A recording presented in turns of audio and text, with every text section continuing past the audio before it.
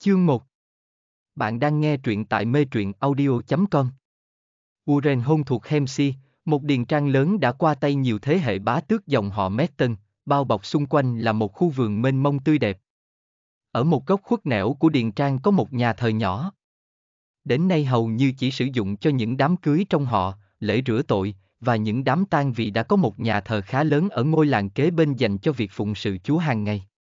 Nhìn chung đó là một nơi rất đẹp, đặc biệt là trong mùa xuân và mùa hè.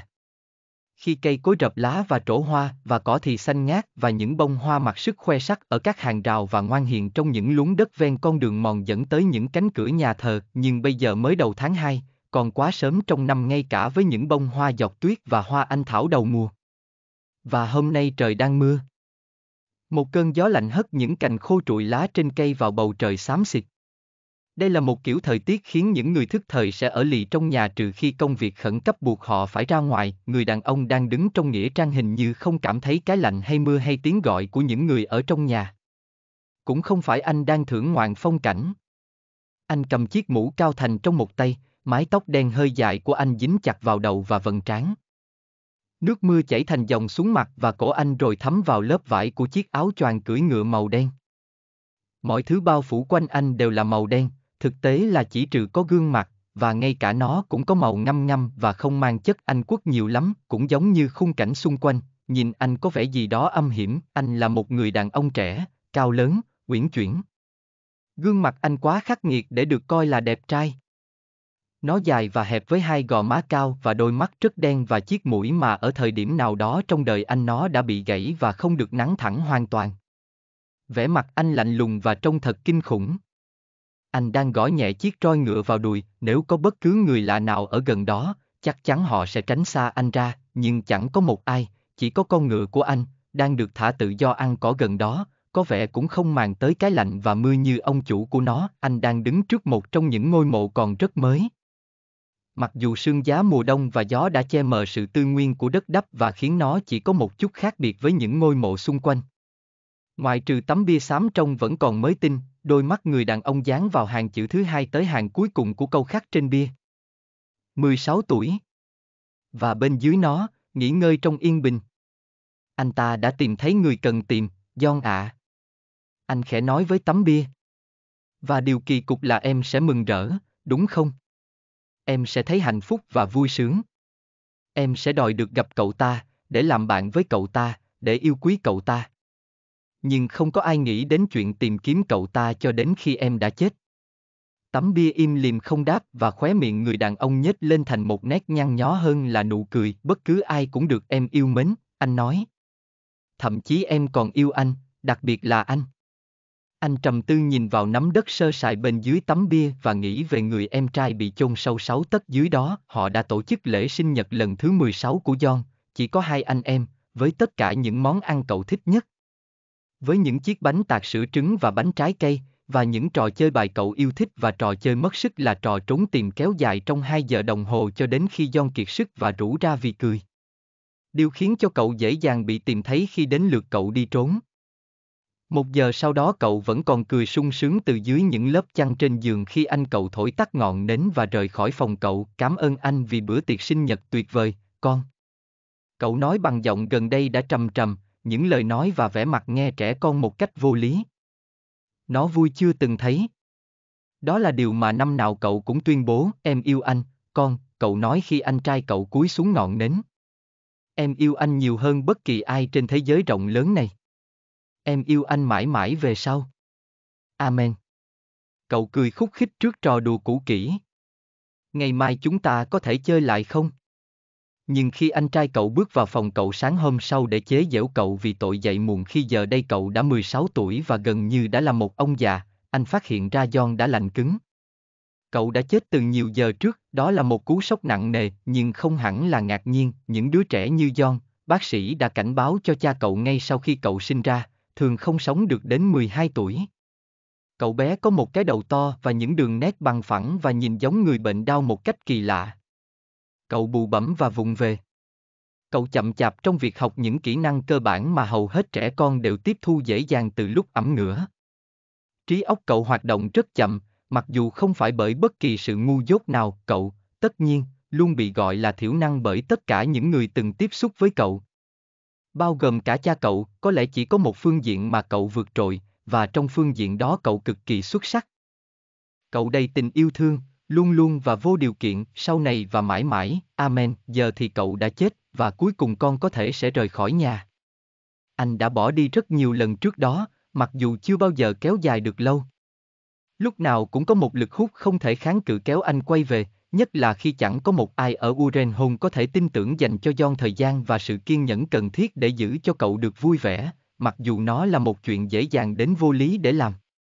Bên cạnh đó, John luôn sầu não và buồn bã nếu như anh vắng mặt quá lâu và làm cho mọi người rối hết cả lên với những câu hỏi liên miên về ngày anh trở về. Bây giờ mùa xuân đang đến và không còn gì giữ anh ở lại đây nữa, lần này anh sẽ đi hẳn, tại sao anh lại nấn ná lâu đến thế? Tại sao anh không bỏ đi ngay sau đám tang? Tại sao anh cứ đến đây hàng ngày trong mùa đông kể từ hồi đó? Một cậu bé đã chết đâu còn cần anh nữa, phải chăng điều cậu cần là cái chết, nụ cười? Hay vẻ nhăn nhó của anh? Trở nên méo mó hơn, anh không cần bất cứ ai hay bất cứ cái gì. Anh đã dành cả đời nuôi dưỡng sự thờ ơ, bản năng sinh tồn của anh đòi hỏi anh điều đó. Anh đã sống ở đây hầu hết cuộc đời. Mẹ anh và cha anh, những người đã nuôi nấng anh ở đây, đang nằm trong ngôi mộ của họ bên cạnh mộ của John. Anh không nhìn về phía họ. Còn có rất nhiều em trai và em gái anh, không một ai trong số đó sống qua được tuổi ẩm ngửa. Chỉ có mình anh, người con cả, và John, đứa con út. Đó là sự mỉa mai kỳ quái, hai đứa con không được mong muốn nhất lại sống sót, nhưng giờ John cũng đã ra đi, không bao lâu nữa sẽ có một người khác đến đây chiếm vị trí của cậu, em có thể làm được mà không có anh không? John, anh khẽ hỏi, anh cúi người tới trước và chạm bàn tay còn cầm roi ngựa lên đỉnh tấm bia. Nó lạnh và ướt và cứng rắn, anh có thể nghe thấy tiếng một con ngựa khác đang phi đến. Con ngựa của anh hí lên đón chào. Quai hàm anh siết lại. Đó hẳn là anh ta. Anh ta không cho anh được ở một mình thậm chí là nơi này. Còn không quay lại. Anh sẽ không chấp nhận sự hiện diện của người đàn ông đó, nhưng đó là một giọng nói khác gọi tên anh, cậu đây rồi, con. Giọng nói mừng rỡ. Tôi phải đoán ra mới đúng. Tôi đã tìm khắp mọi nơi. Liệu tôi có xâm phạm chuyện gì không? Không. Con thẳng người lên và quay lại nheo mắt nhìn lên Philip Granger, người hàng xóm và là bạn anh. Tôi tới đây để chúc mừng tin tốt lành với John. Cuộc tìm kiếm đã thành công rồi. À. Philip không hỏi cuộc tìm kiếm nào. Anh cúi xuống vỗ vào cổ con ngựa và ngăn không cho nó nhảy chồm lên. Chà, nó là điều không thể tránh khỏi, tôi cho là vậy. Nhưng thời tiết khắc nghiệt thế này thì không nên đứng quanh quẩn trong nghĩa trang. Hãy tới quán rượu ba con chim và tôi sẽ đãi cậu một cốc bia. Có thể là hai cốc. Hoặc hai mươi. Cậu có thể mua cốc thứ hai mốt. Một lời mời không thể cưỡng lại. Con đặt chiếc mũ trở lại trên đầu, huyết sáo gọi con ngựa, và quăng mình nhảy lên yên khi nó chạy nước kiệu đến. Vậy là cậu định rời khỏi đây hả? Philip hỏi, tôi đã được lệnh xuất phát, con bảo anh, nụ cười toe toét có phần hung tợn. Tôi phải đi trong vòng một tuần. Ồ, tôi hiểu, bạn anh nhăn nhó, nhưng tôi sẽ không đi đâu hết, con nói thêm. Tôi sẽ không trao cho anh ta niềm thỏa mãn đó. Tôi sẽ đi khi nào tôi muốn. Anh sẽ ở lại chống đối tính thỏa hiệp của mình và chống lại cái yêu cầu thẳng thường kia để chuốc lấy rắc rối cho bản thân. Anh vẫn đang làm thế với thành công đáng kể trong cả năm qua, thực ra anh đã làm vậy trong cả cuộc đời. Đó là cách chắc ăn nhất để lôi kéo sự quan tâm của cha anh. Cái động cơ thật trẻ con, giờ anh lại nghĩ tới nó, Philip đang cười, quỷ bắt cậu đi, anh nói, nhưng tôi sẽ nhớ cậu, mặc dù tôi có thể khá vui vẻ sáng nay mà không phải lùng sục khắp cả vùng để tìm cậu sau khi người nhà cậu bảo là cậu đã ra ngoài. Khi họ cưỡi ngựa đi, con quay nhìn lại lần cuối ngôi mộ của em trai, một cách ngớ ngẩn, anh tự hỏi liệu John có cảm thấy cô đơn sau khi anh đi không, và liệu anh có thấy cô đơn không? Người dân trong vòng bán kính năm dặm của ngôi làng thờ ở Srosi ở trong tâm trạng phấn khích cao độ đến cả tuần hoặc hơn trước ngày 14 tháng 2. Ai đó? Hình ảnh chính xác của một người còn dùng dằn mặc dù không dưới nửa tá lần tuyên bố mình đã dứt khoát. Đã nêu ý kiến tổ chức một buổi họp mặt ở những căn phòng tầng trên của quán trọ trong làng nhân dịp kỷ niệm ngày lễ Valentine vì cảm tưởng như Noel đã trôi xa lắc còn mùa hè. Khoảng thời gian của lễ hội và khiêu vũ ở Rundo Park. Vẫn là tương lai mù mịt, ý kiến đó được đưa ra bởi bà Trác Đồ, vợ ông bào chế thuốc, hoặc ông Moffat, quản gia của Sir Humpherdale, hay cô Aylesford, bà chị không chồng của ngài cha xứ, hoặc bởi một trong những người yêu cầu khác. Không ai có thể lý giải rõ ràng tại sao một sự kiện giải trí như vậy lại không được nghĩ ra từ trước. Nhưng vì nó đã được nghĩ ra vào năm nay, nên chẳng một ai nghi ngờ rằng lễ hội Valentine sẽ trở thành một sự kiện thường niên trong làng, tất cả đều đồng ý rằng đó là một ý tưởng đầy sáng tạo, thậm chí hay có lẽ là đặc biệt.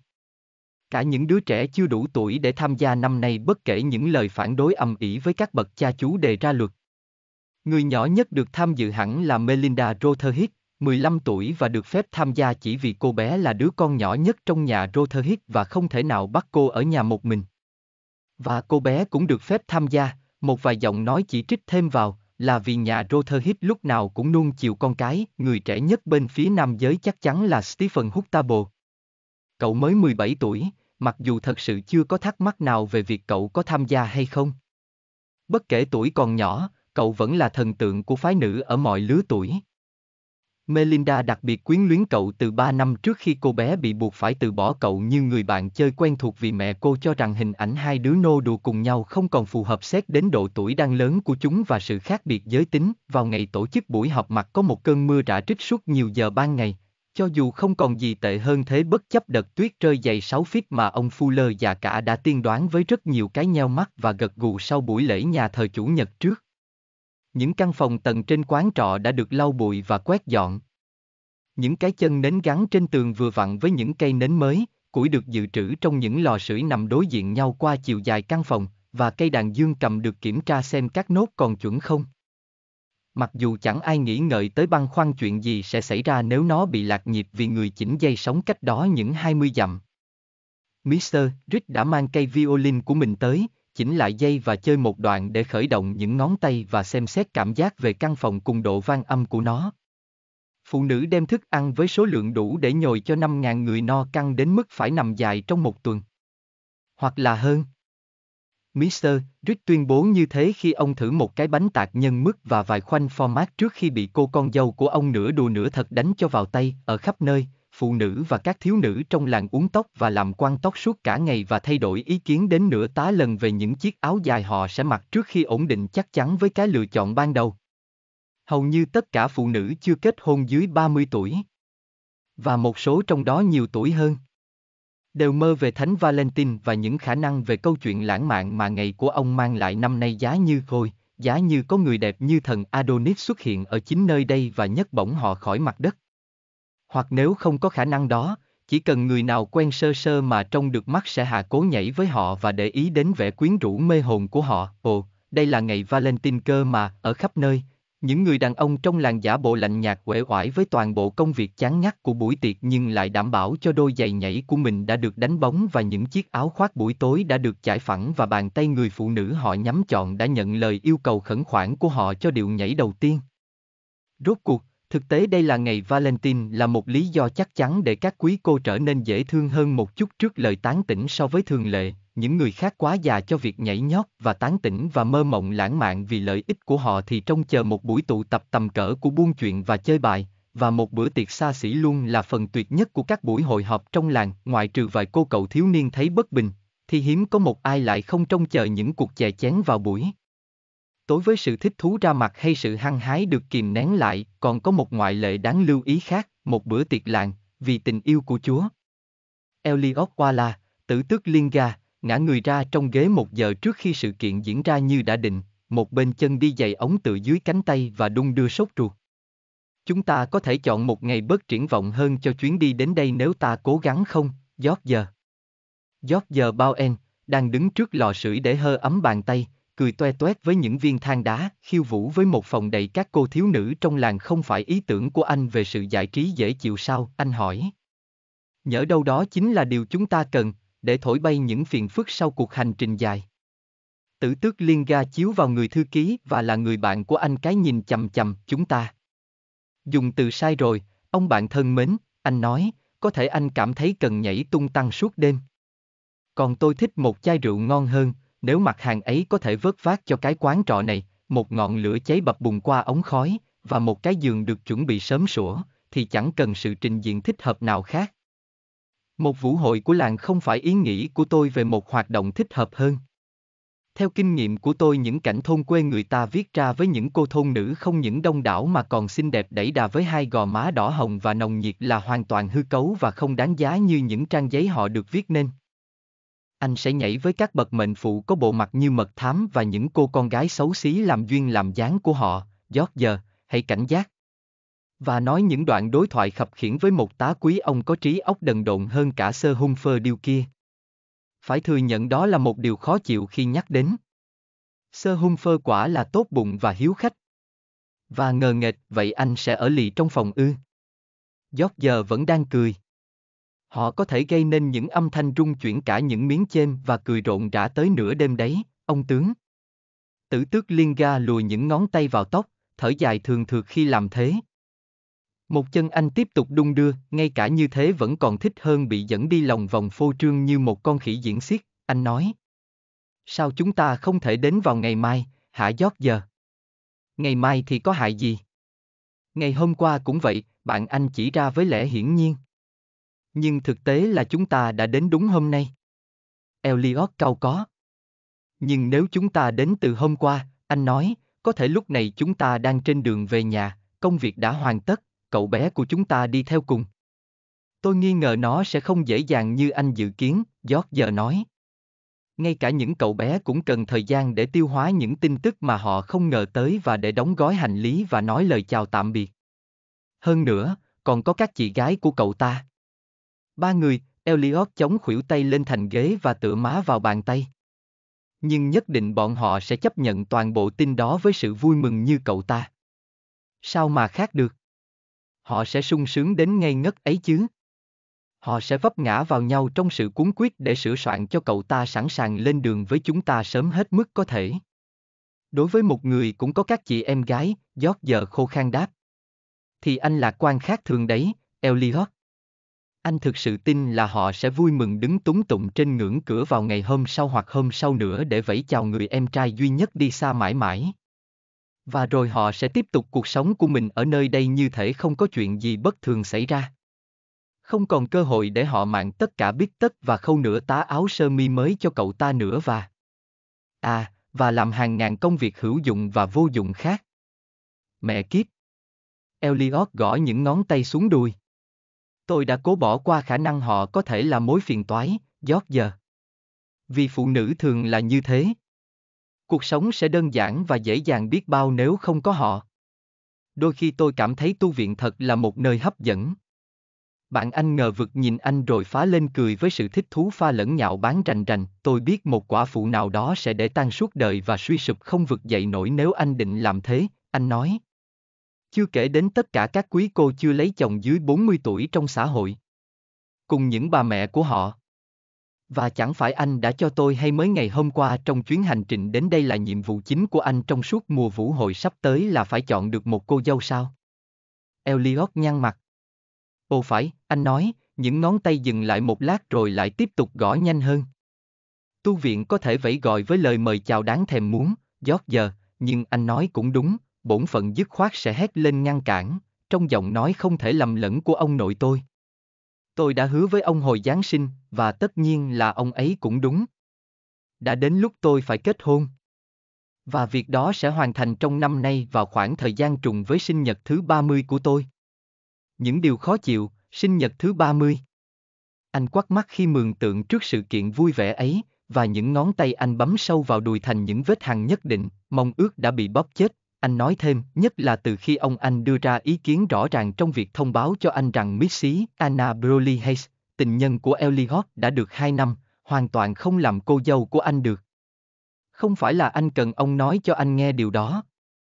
Anna xinh đẹp và gợi tình và có kỹ năng phi thường trong nghệ thuật phòng the, nhưng cô cũng có một chuỗi những người tình trước anh.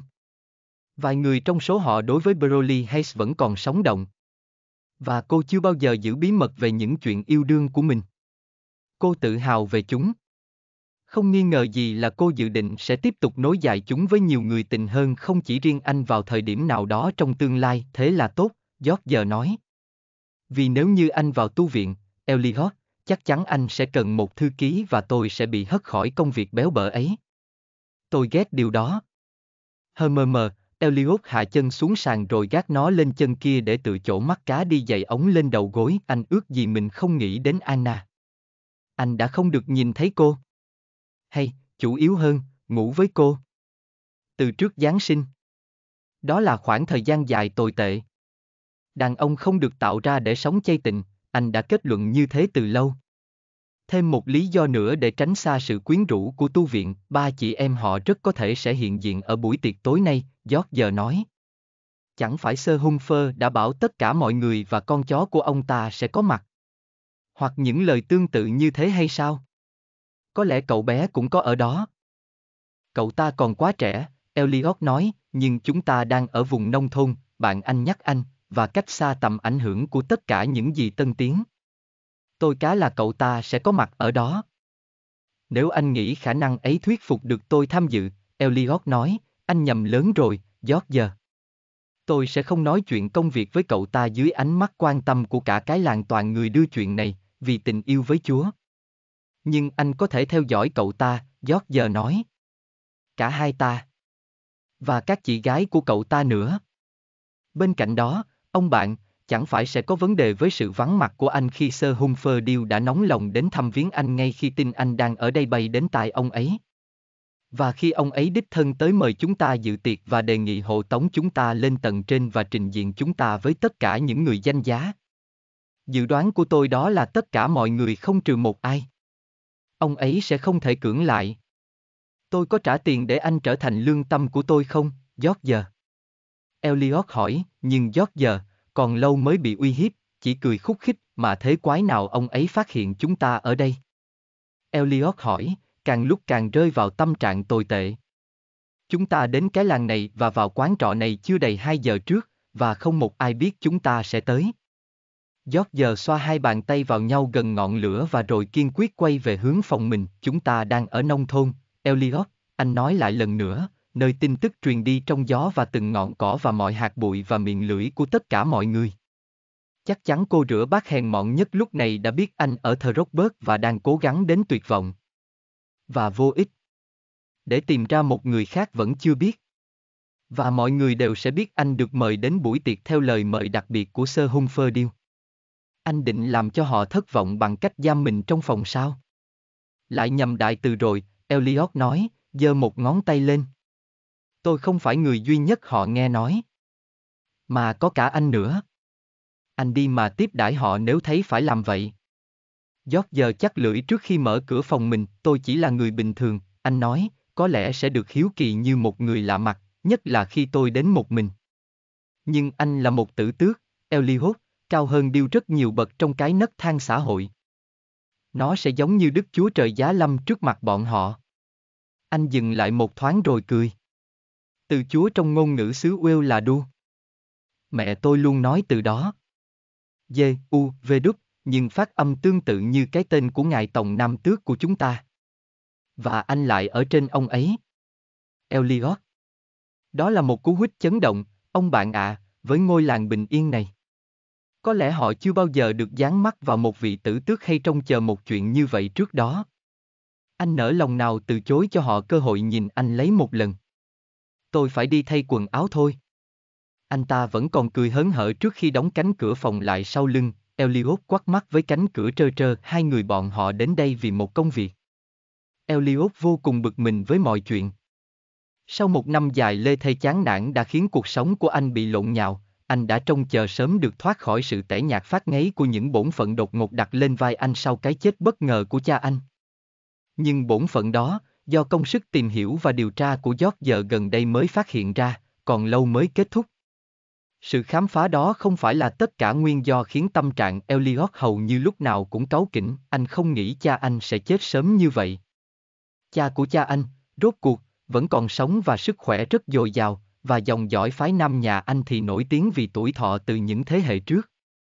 Elliot đã hy vọng trong nhiều năm nữa anh vẫn thông dong đứng chờ mỏi gối và tận hưởng cuộc sống thảnh thơi của một chàng công tử thành phố mà không có bất kỳ gánh nặng nào của trách nhiệm nghiêm túc, nhưng đột ngột anh có chúng, lâu hoặc mau. Giống như trò chơi trốn tìm thời thơ ấu, chúng đang đến, lâu hoặc mau, cha anh đã chết một cách nhục nhã trên giường nhân tình của ông, một sự thật đã trở thành một trong những trò cười dai dẳng hơn trong giới quý tộc. Nó kém vui vẻ hơn đối với mẹ Elliot. Thực tế là không vui chút nào, mặc dù bà đã biết từ lâu, cũng như tất cả mọi người, sự lăng nhăng của chồng mình, tất cả mọi người trừ Elliot, giống như tuổi thọ, nam giới dòng họ nhà anh cũng nổi tiếng vì những cô nhân tình dài hạn và những đứa trẻ họ sinh ra để thêm vào với các bà vợ và những đứa con hợp pháp. Mối quan hệ bất chính của ông anh chỉ kết thúc với cái chết của cô nhân tình từ 10 năm trước. Kết quả của mối quan hệ đó là 8 đứa trẻ. Cha anh thì để lại 5 đứa, tất cả đều được chu cấp đầy đủ, không ai có thể buộc tội những người đàn ông nhà Oala vì đã không làm nhiệm vụ gia tăng dân số cho đất nước, Anna không có đứa con nào. Với anh hay bất cứ ai. Elliot ngờ rằng cô biết cách ngăn ngừa việc thụ thai, và anh mừng vì điều đó. Anh cũng không có con với bất kỳ cô nhân tình nào khác, anh đã có thể cử giót giờ xuống đây một mình, anh ngẫm nghĩ, tâm trí quay về tình huống hiện tại. Bao En hoàn toàn có khả năng tự mình thực hiện công việc. Elliot không cần phải đích thân đi. Nhưng một khi bổn phận đã bắt tay vào, anh nhận ra, áp đặt cái chuẩn mực ảm đạm về danh dự của nó, nên anh phải ở đây, trong một vùng đất hẳn là rất xa xôi hẻo lánh ngay cả có đẹp như tranh. Hoặc sẽ đẹp khi mùa xuân quyết định phô ra bộ mặt của nó như giót giờ tin tưởng họ trọ tại quán trọ duy nhất của thờ Robert, mặc dù nó chỉ là một cơ sở kinh doanh mộc mạc không có sự khoe khoang hay thanh lịch. Thậm chí nó còn không có trạm đổi ngựa. Họ đã dự định làm xong việc trước lúc trời tối. Elliot hy vọng sẽ được lên đường trở về vào ngày mai mặc dù giót giờ đã dự báo phải mất thêm một ngày, có thể là hai, là một khả năng dễ thấy. Và thậm chí như thế cũng là một phán đoán quá lạc quan, nhưng cái quán trọ này có một đặc tính tai hại, như tất cả các quán trọ miền quê khác, quỷ tha ma bắc. Nó có một phòng hội họp ở tầng trên. Và những căn phòng đó sẽ được sử dụng cho buổi tối nay. Anh và George giờ vớ phải vận rủi hiếm thấy khi đến đúng ngày làng tổ chức vũ hội. Thật sự chẳng ai trong bọn họ nghĩ rằng những người dân một ngôi làng hẻo lánh của nước Anh có thể nảy ra ý tưởng tổ chức lễ kỷ niệm ngày Valentine. Thậm chí Elliot còn chẳng để ý hôm nay là ngày Valentine nữa, vì chúa, căn phòng vũ hội nằm ngay trên đầu anh khi anh tiếp tục ngã người ra trong chiếc ghế cạnh lò sưởi bất chấp thực tế nó không phải là thứ đồ gỗ thoải mái cho lắm và lò sưởi cần nhiều than hơn và dây kéo chuông nằm ngoài tầm tay của anh. Phòng vũ hội cũng nằm ngay phía trên phòng ngủ của anh. Chúng nằm phía trên tất cả. Chẳng cách nào thoát được những âm thanh và những chuyển động của bước chân nhảy rầm rầm trên đầu anh cho tới nửa đêm. Tai anh sẽ bị tấn công bởi âm nhạc rộn rã. Không nghi ngờ gì là được chơi rất kém và không chuyên. Và những giọng nói ầm ĩ và tiếng cười ầm ĩ, quả thực anh sẽ gặp may nếu có thể chập mắt ngủ một chút. Còn gì khác để làm ở nơi khỉ ho cò gáy này ngoài ngủ? Thậm chí anh còn không mang theo một quyển sách nào. Một sơ sót lớn, Sir Humphrey Deal, người Elliot chưa từng gặp trước buổi chiều nay, là kiểu quý ông hỏi một nghìn câu rồi tự mình trả lời 999 câu. Ông hỏi bọn họ liệu họ có ban cho dân làng vinh dự bằng việc tham gia buổi vũ hội không và cam đoan với họ rằng ông rất lấy làm cảm kích vì sự chiếu cố của họ đã làm vẻ vang cho địa vị soàn xỉn của ông và hàng xóm láng giềng. Ông hỏi bọn họ liệu ông có thể đến đón họ lúc 8 giờ không và cam đoan rằng họ đang cho ông nhiều vinh dự hơn là ông có thể đáp lại. Ông hỏi bọn họ liệu sau đó ông có thể giới thiệu họ với một số người hàng xóm được chọn lọc của ông không và cam đoan rằng họ sẽ không hối tiếc khi làm quen với những con người dễ chịu và đáng mến đó, mặc dù không một ai dễ chịu và đáng mến bằng bọn họ, đương nhiên là thế. Lấy điêu sẽ vô cùng vui sướng trước sự hạ cố tử tế của họ, cả những cô con gái và con dâu ông cũng vậy. Ông sẽ sống trong sự hồi hộp thích thú trước sự kiện lúc 8 giờ đó, suýt nữa Elliot đã từ chối thẳng thừng. Anh thường không chịu nổi những trò ngu xuẩn. Nhưng anh đã dự định đơn giản là không tham gia buổi tiệc mà ở lì trong phòng khi ngài Tổng Nam Tước đến và gửi lời xin lỗi của mình qua giót giờ. Nói cho cùng thì có những thư ký để làm gì, đôi khi để họ quay sang đâm chọc lương tâm ông chủ của họ. Quỷ bắt họ đi vì tất nhiên là giót giờ nói đúng.